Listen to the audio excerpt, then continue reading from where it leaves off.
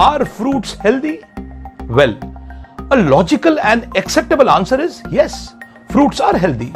But now my next obvious question should be why are fruits healthy?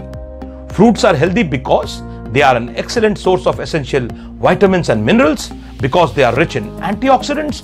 But please understand that all these nutritional values of fruits have nothing to do with its sweetness. Will you have a fruit if it's not sweet? And give an honest answer to yourself. You won't. We justify and enjoy eating fruits because of the sweetness, because of the fructose and all the sugars in it. We aren't bothered about vitamins and minerals then. And to my horror, someone was defending mango for a diabetic individual with the example of cake vitamins. Mangoes are rich in vitamin C, A, K, E. Oh, come on. Forget lemons and gooseberries.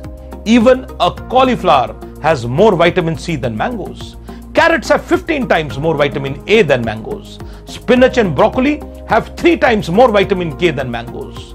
Olives and almonds have far more vitamin E than mangoes, and yet we want to justify mangoes to make up for our vitamin needs? The logic is very simple. You need the vitamins, the minerals, and the antioxidants. Take them. Take them from foods that do not have so much fructose and sugars. Period. And yes, those who want to contest the breaking down of fructose uh, in liver, remember, sooner or later, it ultimately has to break down into glucose and come into your circulation. So please, if you are insulin sensitive, take fruits by all means, but in moderation. Do not gorge on fruits, fruit shakes, and fruit salads.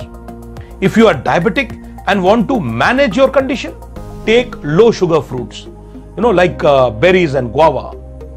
But if you are diabetic and want to reverse, repeat, reverse your condition, just say bye bye to fruits for some time. For the period when you are reversing your insulin resistance and trying to stabilize and consolidate, you will see the results for yourself.